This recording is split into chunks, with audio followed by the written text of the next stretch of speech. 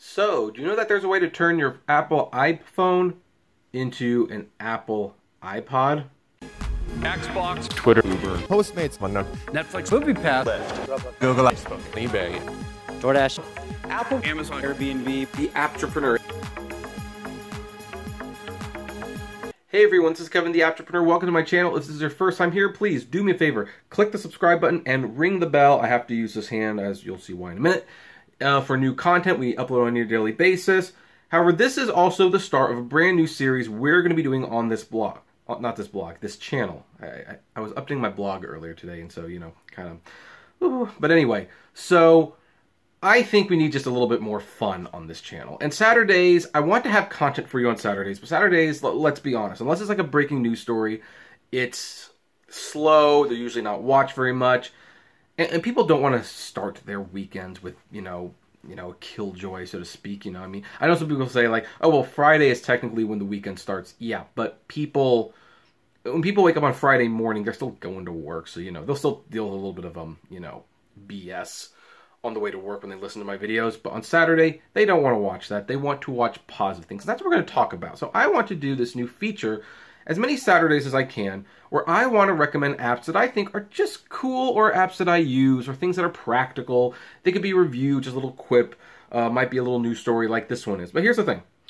We most people love their iPhones and everything like that. And I know Apple still makes iPod touches. They exist. I will probably have to get one when my iPod finally dies. This thing has been through hell and back with me. Has my name name engraved on it, and I use this a lot. Uh, it definitely has done me good, although the battery does not hold nearly as long as it used to.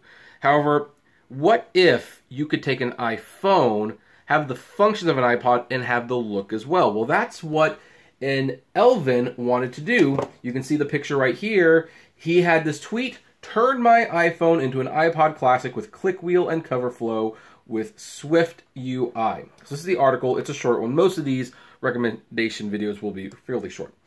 But Elvin Hu, a design student at Cooper Union College in New York City, has created a new app that brings the touch-sensitive click wheel of the iPod Classic to your iPhone.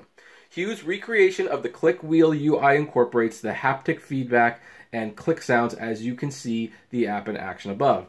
He designed the iPhone app while working on a paper about the development of the iPod. While he hopes to release the app, it remains to be seen if Apple will approve the project.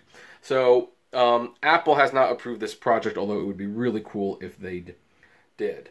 Um, let's see, the iPod click wheel came to the iPod Classic in the early 2000s, as it was also featured on the first several generations of the iPod Nano. The technology allowed you to navigate the device by rotating your finger around the circle.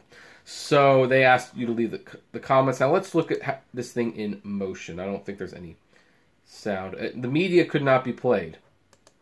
Interesting. Did they take this away? Did they just absolutely ruin my my videos? This is 18 second. Oh, there it is.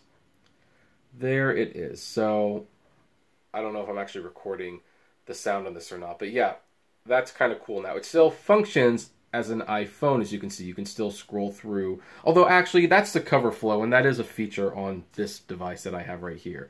And apparently, when you do that, it has the clicks, but he has to um, put it through Apple's little um, approval thing. Now, I see additional tweets here. Let's see if anything has changed since then. Um, so, you know, uh, he's he got uh, he's got some response. Um,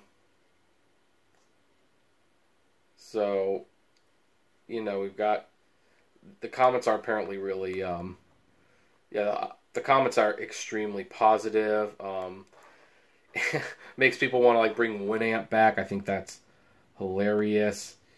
Um, but he does.